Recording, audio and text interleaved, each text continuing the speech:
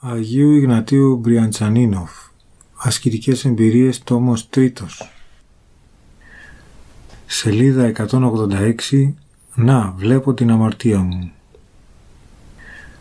Θα έρθει η φοβερή εκείνη η μέρα. Θα έρθει η φοβερή εκείνη ώρα κατά την οποία όλες μου οι αμαρτίες θα σταθούν γυμνές μπροστά στο Θεό κριτή, μπροστά στους αγγέλους Του, μπροστά στην ανθρωπότητα καθώς προαισθάνομαι ποια θα είναι τότε η κατάσταση της ψυχής μου, κυριεύομαι από φρίκη.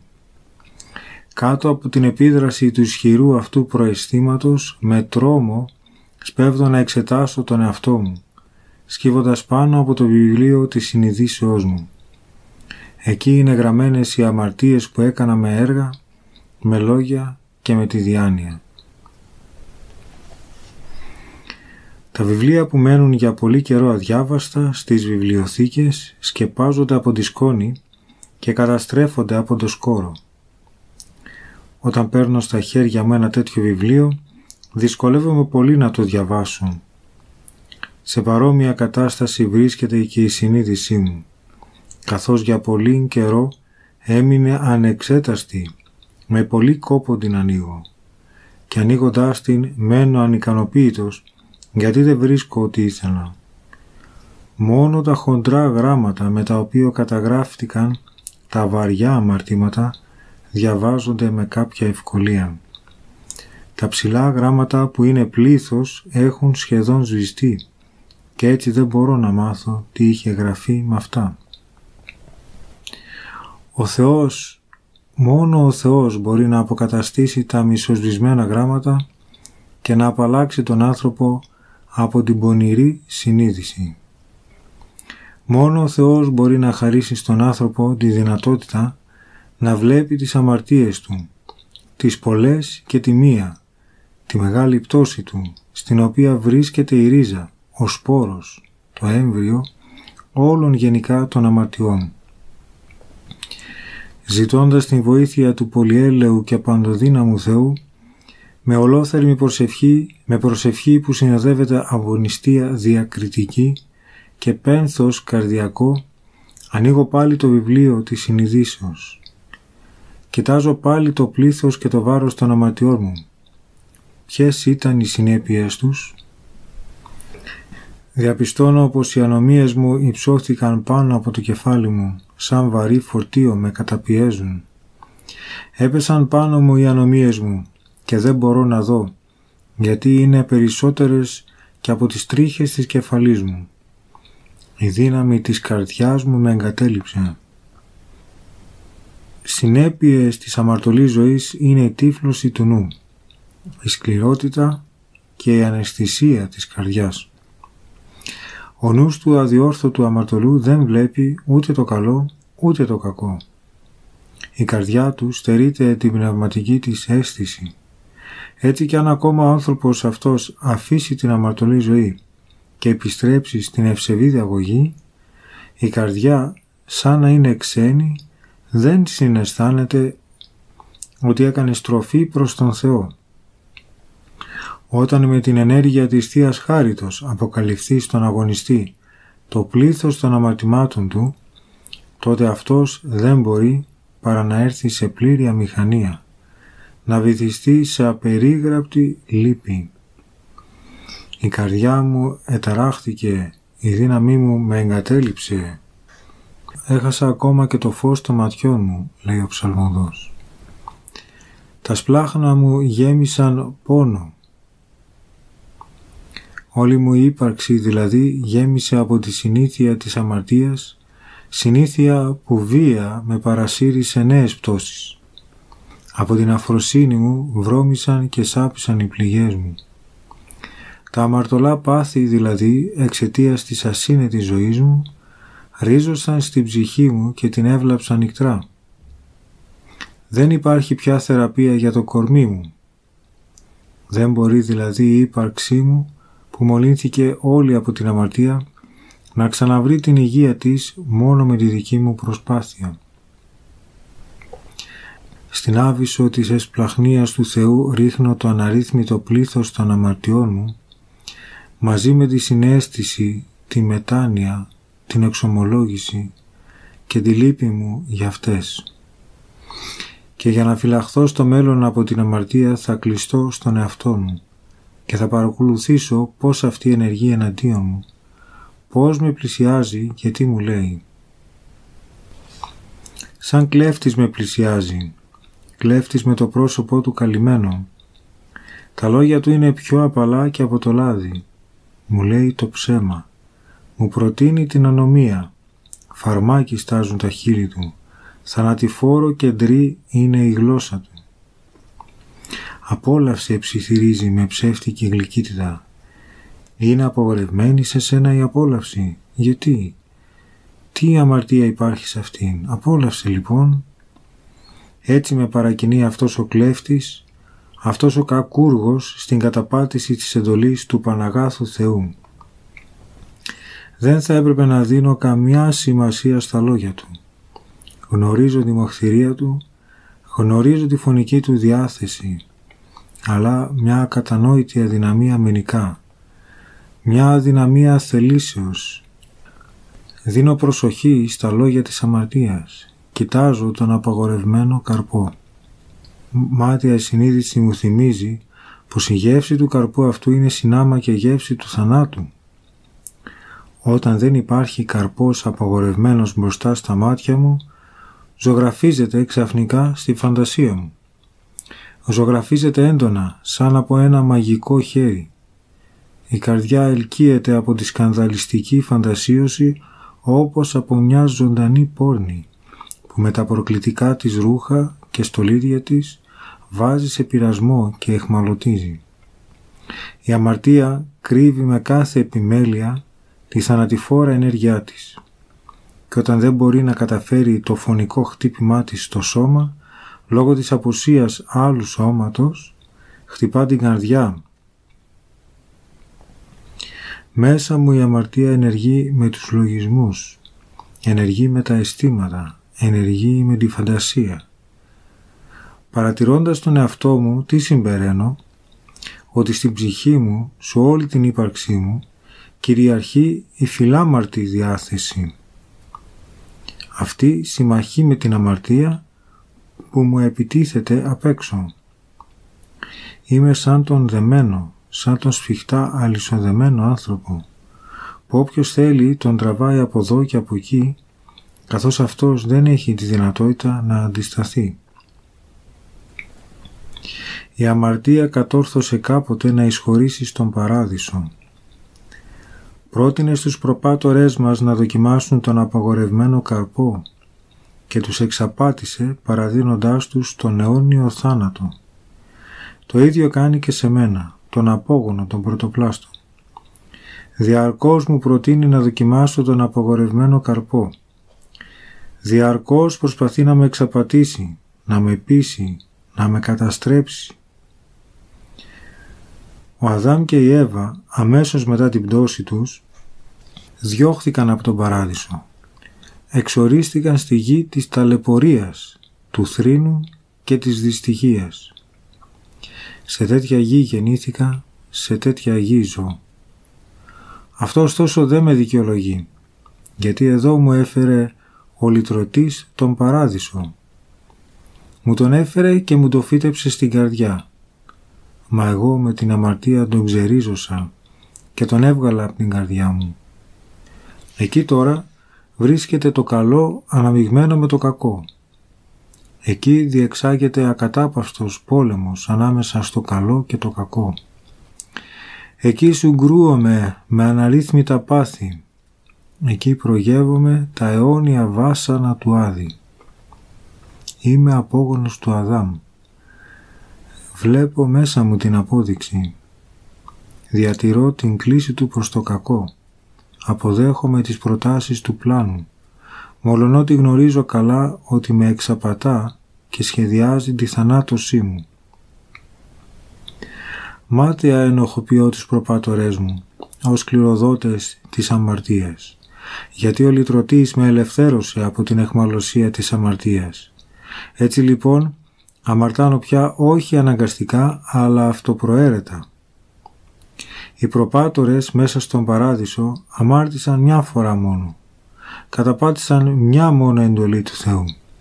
Εγώ, μέσα στην αγκαλιά της Εκκλησίας του Χριστού, καταπατώ διαρκώς όλες τις θείες εντολές του Χριστού, του Θεού και σωτήρα μου.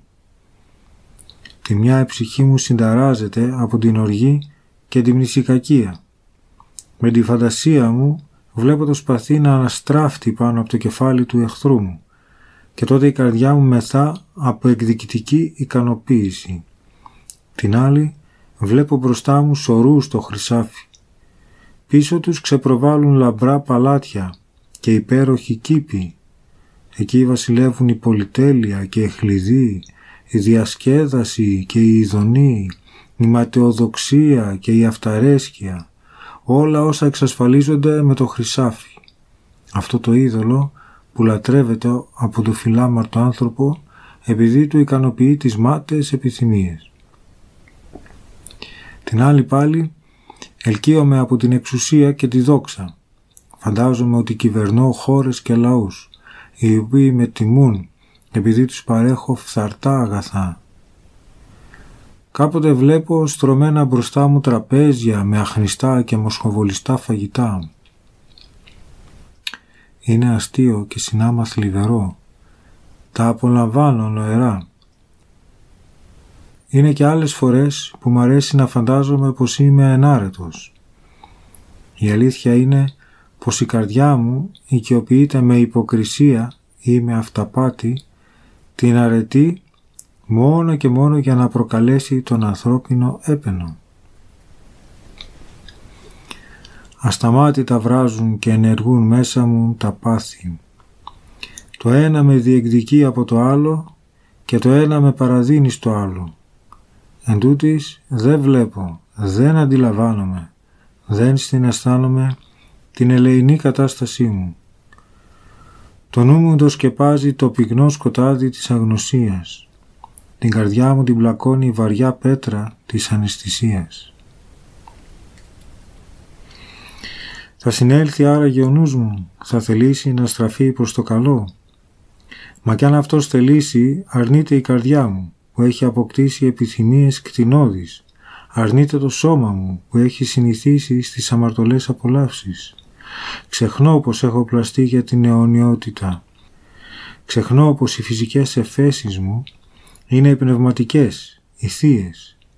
Ξεχνώ πως οι κτηνώδες επιθυμίες είναι αφύσικες, είναι η αρρώστια που χτύπησε τον άνθρωπο μετά την προπατορική πτώση. Προπτωτικά ο νους, η καρδιά και το σώμα, μέρη τα οποία αποτελούν την ύπαρξή μου, βρίσκονταν σε λειτουργική ενότητα. Μεταπτωτικά όμως η ενότητα αυτή διασπάστηκε. Τώρα τα μέρη αυτά όχι απλώς λειτουργούν αυτόνομα, αλλά και αλληλοσυγκρούονται σε πρόσκαιρη συμφωνία, συμφωνία θεομίσητη, έρχονται μόνο όταν υπηρετούν την αμαρτία. Αυτή είναι η κατάστασή μου. Νεκρή ψυχή σε ζωντανό σώμα. Κι όμως είμαι ικανοποιημένος. Νιώθω ικανοποιημένος όχι από ταπείνωση, αλλά εξαιτίας της τυφλότητας και της σκληροκαδίας μου. Η ψυχή δεν συναισθάνεται την έκρωσή της. Ούτε και το σώμα αντιλαμβάνεται την έκρωση της ψυχής από την οποία χωρίζεται με το θάνατο.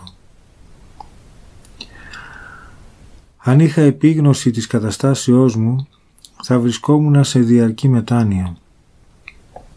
Αν συνειδητοποιούσα την έκρωσή μου, θα φρόντιζα για την Ανάστασή μου. Είμαι όλος παραδομένος στις εγκόσμιες μέρημνες. Λίγο νοιάζομαι για την πνευματική μου συμφορά. Κρίνω αυστηρά το παραμικρό σφάλμα του πλησίον και ας είμαι ο ίδιος βυθισμένος στην αμαρτία, τυφλωμένος από την αμαρτία, μετασχηματισμένος από την αμαρτία σε στήλη άλατος όπως η γυναίκα του Λότ, ανίκανος για κάθε πνευματική ενέργεια. Δεν έχω μετάνοια, γιατί δεν βλέπω την αμαρτία μου και δεν βλέπω την αμαρτία μου γιατί ακόμα την υπηρετώ.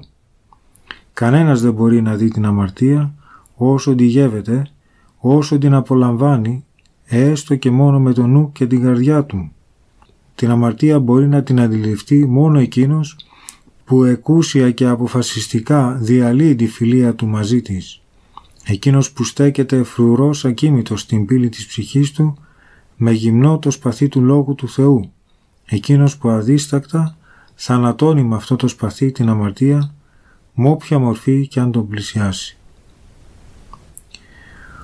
Όποιος πραγματοποιήσει αυτό το μεγάλο κατόρθωμα, όποιος δηλαδή μισήσει την αμαρτία και πάρει μακριά της το νου, την καρδιά και το σώμα του, θα λάβει από το Θεό ένα εξαιρετικό χάρισμα, να βλέπει την αμαρτία του. Μακάρια είναι η ψυχή που συνειδητοποίησε πως η αμαρτία φωλιάζει μέσα της. Μακάρια είναι η ψυχή που συνειδητοποιώντας τη δική της αμαρτία αντιλήφθηκε την πτώση των προπατόρων. Μακάρια είναι η ψυχή που διαπίστωσε πως έχει κληρονομήσει τα χαρακτηριστικά του παλαιού Αδάμ. Η θέαση της αμαρτίας της ψυχής είναι θέαση πνευματική, θέαση νοερή. Την αξιώνεται ο νους μόνο όταν θεραπευθεί από την τύφλωσή του με την ενέργεια της Θείας Χάριτος. Με την προσευχή, την ιστία και τις γονικλησίες, όπως διδάσκει η Αγία Ανατολική Εκκλησία μας, αζητάμε από τον Θεό το χάρισμα να βλέπουμε την αμαρτία μας. Μακάρια είναι η ψυχή που διαρκώς μαθητεύει στον νόμο του Θεού. Εκεί μπορεί να δει τα χαρακτηριστικά του νέου ανθρώπου, την ωραιότητα του νέου Αδάμ και να μεταμορφωθεί με πρότυπο εκείνον με κεφαλαίο ε. Μακάρια είναι η ψυχή που αγόρασε τον αγρό της μετάνοιας, νεκρώνοντας τον εαυτόν της ως προς κάθε αμαρτωλή δραστηριότητα. Σε αυτόν τον αγρό θα βρει τον ανεκτήμητο θησαυρό της σωτηρίας. Αν αγόρασες τον αγρό της μετάνοιας, παραδώσου με κλάμα παιδικό στο Θεό, χωρίς να του ζητήσεις τίποτα. Παραδώσου με αυταπάρνηση στο θέλημά του. Θυμήσου και αναλογήσου πως εσύ είσαι πλάσμα και ο Θεός είναι πλάστης. Παραδώσου λοιπόν χωρίς όρους στο θέλημα του πλάστη. Πρόσφερε του μαζί με τα παιδικά σου δάκρυα και τη σοπηλή σου καρδία, καρδιά έτοιμη να ακολουθήσει το θέλημά του και να σφραγιστεί από το θέλημά του. Και αν η πνευματική σου νηπιότητα δεν σου επιτρέπει να βυθιστείς στην σιωπή και να κλάψεις μπροστά στον Θεό, πρόσφερέ του την ταπεινή σου προσευχή. Ζήτησέ του να συγχωρήσει τις αμαρτίες σου και να σε θεραπεύσει από τα πάθη. Τις φοβερές αυτές αδυναμίες που δημιουργούνται και ριζώνουν στην ψυχή από εκούσιες και για μεγάλο χρονικό διάστημα επαναλαμβανόμενες αμαρτίες. Μακάρια είναι η ψυχή που ένιωσε πως είναι αμαρτωλή και ελεηνή. Μακάρια είναι η ψυχή που παραδέχτηκε πως είναι εντελώς ανάξια του Θεού. Η ψυχή αυτή βρίσκεται αληθινά στο δρόμο της σωτηρίας. Απέναντίας, όποιος θεωρεί τον εαυτό του άξιο του Θεού, όποιος ισχυρίζεται ότι μπορεί να δεχθεί, να δει και να ακούσει τον Κύριο, όποιος επιζητεί και περιμένει την μυστική του επίσκεψη, όποιος νομίζει πως είναι έτοιμος να αποκτήσει τη Θεία Χάρη, αυτός βρίσκεται μέσα στην αυταπάτη.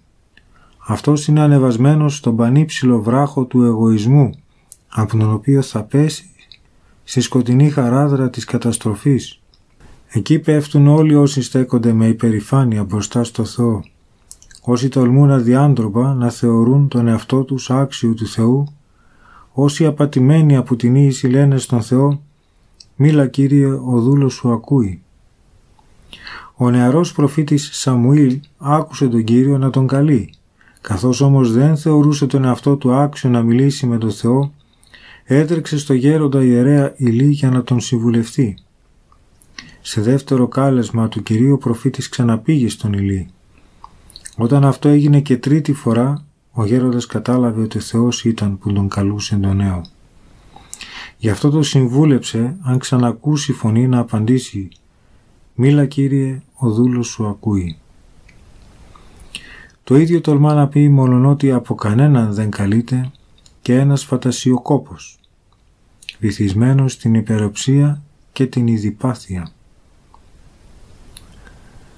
Μεθυσμένος από τους υπερήφανους λογισμούς του ακούει μέσα του ανύπαρκτες φωνές και αισθάνεται απατηλές παρηγοριές. Έτσι κολακεύει την αλαζονική καρδιά του, έτσι εξαπατά και τον εαυτό του και τους εύπιστους οπαδούς του. Παιδί της Ανατολικής Εκκλησίας, της μιας της Αγίας, της αληθινής Εκκλησίας, στον πνευματικό αγώνα σου χειραγωγήσου από τις νουθεσίες των θεοφόρων πατέρων αυτής της Εκκλησίας.